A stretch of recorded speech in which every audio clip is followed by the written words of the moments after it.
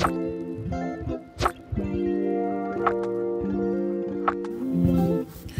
everyone, it is around 9.15 p.m. at night, according to the Star Wars clock.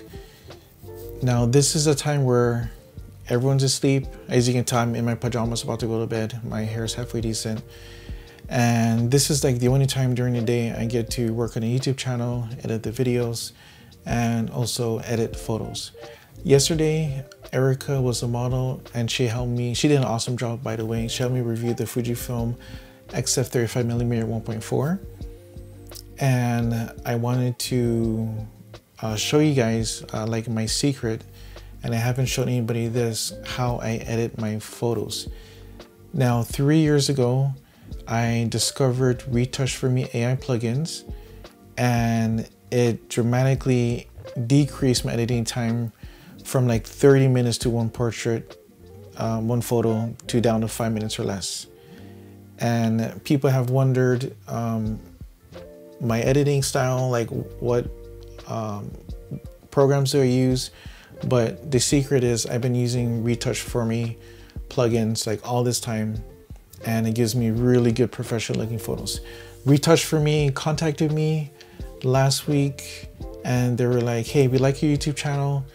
Please try our plugins, uh, see how you like it." And I'm like, I've been using you guys plugins for like three years. It's awesome. It's amazing. And they're like, cool. If you could uh, show how um, you use our plugins uh, to edit in your workflow, we can give your subscribers 20% off. I'm like, yes. So the promo code is Guam20. There is a link in the description below. And if you click on that, you'll get 20% off the plugins. And you do get a small commission and it would really help with the channel if you click on a link and purchase the plugins through that. And I'm going to show you exactly how the plugins work and how exactly I edit my photos. And I think you guys would be pretty um, surprised on like a lot of work it does like for you. So let's get on the computer. This is actually the edited photo already from Erica. Now this is the before and after and believe it or not I did the edit before after in five minutes or less Okay, so first photo. This is JPEG straight out of camera using the Kodachrome 64 film recipe. Usually I click on auto and let Lightroom do its thing. This is a little bit too much. So I'm gonna bring highlights back to zero, shadows back to zero, whites, blacks. I'm gonna take out the vibrance and saturation back to zero. And we are good to go. I'm going to right click on this and edit in Photoshop edit a copy of Lightroom adjustments. And by the way, I'm using the Mac Studio M1 Max base model. So you're gonna see how it performs on this machine. The monitor is the Apple Pro Display XDR 32 inch. So first thing right away, filter, retouch for me, Heal. This is the first plugin I always use is Heal. And it's loaded pretty quick. I'm going to zoom in a little bit on Erica's face. I'm going to click the original photo and after. Original and after. I'm going to click the sensitivity here just to show you the masking. And this is all the slight, slight imperfections that it takes off from the model's skin. And Erica does have a beauty mark that I don't want to take out. So what I'm going to do is click on eraser. I'm going to click the right bracket and I'm going to bring that beauty mark back and click apply. All right, so that's the first step. Second, filter, retouch for me, dodge and burn. Now this actually kind of brings out the shadows a bit, lowers on the highlights. I'm gonna click on the original photo so after, before, after, and let me click on the mask just so you can see what the plugin is doing. Now, usually this would take you like 20 to 30 minutes actually to do this dodge and burn. I like to make sure that the effect adds a little bit of warmth. So I usually have warmth at 50. Blending is really up to you. If you're bringing it up to 200, maybe too much you lose the 3D effect.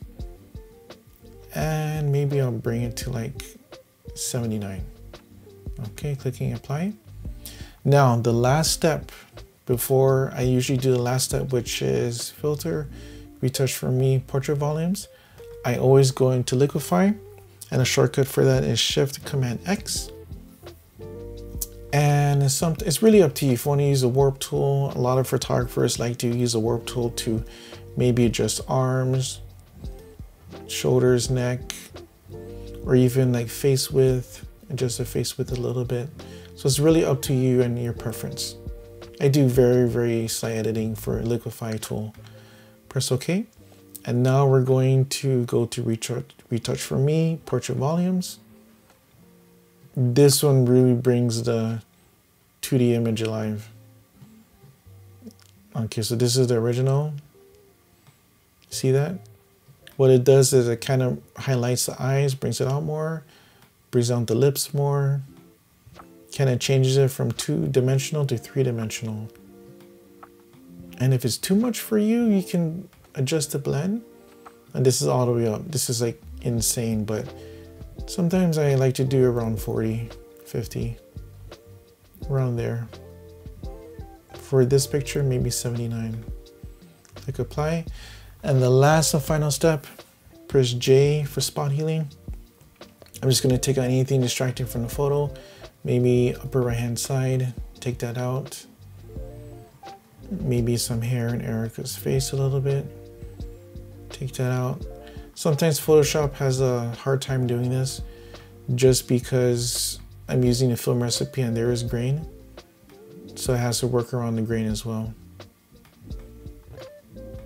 I'm gonna leave some hair on here to be a little bit more dramatic. but yeah, basically we are done. So I'm going to do Command Shift S for save, saving this as PSD. And when we go into Lightroom, you're gonna see before, after, before, after. Wow, looks nice. Okay, another example. And then I'm, I'm actually gonna time myself later. Okay, so we're opening this up in Photoshop. Remember, first step, retouch for me heal. Now I'm going to click on the sensitivity just to see where it's healing. Okay, let's zoom in. I'm going to show you the difference. Before, after, before, after. This saves you like 20 minutes. Now I'm gonna put back the beauty mark here, press apply, move a little bit faster now, dodge and burn. And it saves the warmth I had at 50 last time, blend 79. Uh, so yeah, we can see it's really working on the face here. Before, after, oh yeah, that's nice. Takes out the shadows in the face and even the arms. Even the arm here, nice. I may keep it at 79, looks good. Okay, Command Shift X, going to Liquify tool. And maybe bump this arm in a little bit. Very minor adjustments. Face width, maybe jawline. Again, very, very minor adjustments. Pressing OK. Portraits volume, some of you are like, oh, wow. I mean, it's not even been maybe two or three minutes. And it's really, really looking nice. Okay, original. And this is a blend 79. Let me zoom into the face to show you what, what it's doing. Before, after, before, after. Yeah, keeping it at 79 looks good. There we go saving this as PSD, replacing it. Oh, let me do a different file name. There we go. And so we have before, after. All that in five minutes or less. Really nice. Okay, so let me see if I can get my phone I'm gonna time myself. Okay, I have my phone here. I have the timer and oh, stopwatch, stopwatch. Okay, time it's starting now. Again, I'm gonna do auto. Ooh, a little bit too much. Okay, taking out the vibrance. Right click, opening in Photoshop. Yes. Okay, filter, retouch for me heal.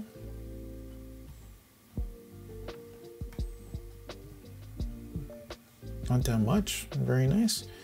I'm going to again bring back our beauty mark here. Press apply.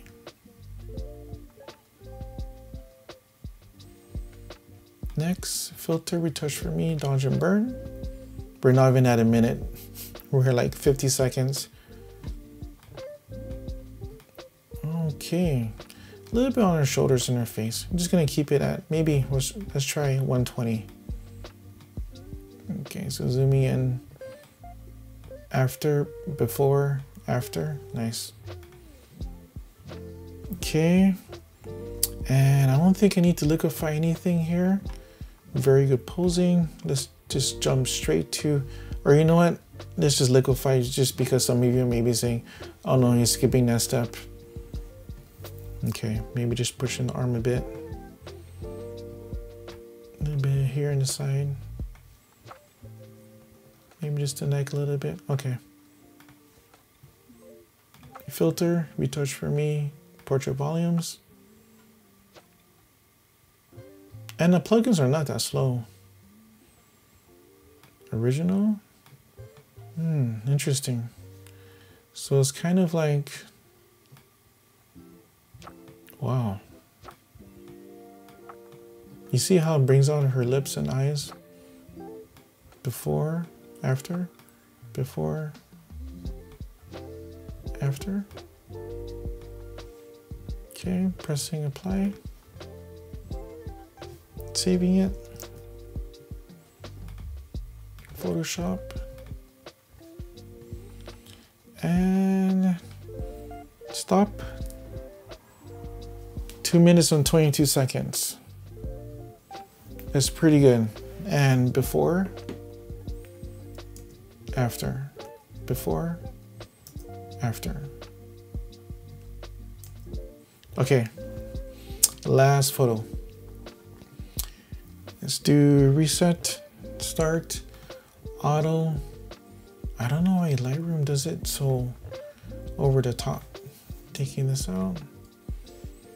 Okay, right clicking, edit in Photoshop.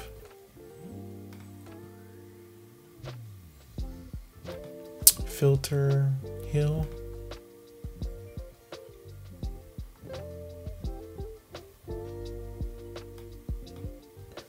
Okay. Nice. Just to let you see before after. Before after. Great job. Put back goes beauty mark here. Apply. Nice filter dodge and burn we have 50 seconds oh this does great even the background so if you notice, this is kind of warm here because before, after, before, after. Yeah, so if you turn down this warmth, it'll go back to green. I do like to add a little bit warmth, but the picture's warm already, so maybe just warm 16. I think the blend at 120, bring it back down to maybe around 100, 101. Okay, apply. And let's go to liquify tool, warp tool, maybe put shoulder in a little bit. We can adjust the face width just a little bit. Jawline, I think that's good already. Pressing OK. Lastly, portrait volumes. There we go. And this is what really gives it a 3D look. Before, after, before, after. Wow, look at that. Before, after. I'll keep it 79. Let's try to increase it. Yeah. Around 80 is good. And press J if you want to remove anything distracting. Maybe this line here. I think we're okay. We're pretty good. All right, we are done. Saving as Photoshop. Going back to Lightroom. Stopping two minutes and 40 seconds. Wow. And this is before and after. Okay, I'm gonna make this full screen. Before, after. I believe this is before, after, before, after, before, after. Really good. Wow. So I just edited in front of you guys like four photos. I don't know how long this video is going to be, maybe like 15 minutes. Usually this will take me about hour and a half or two hours.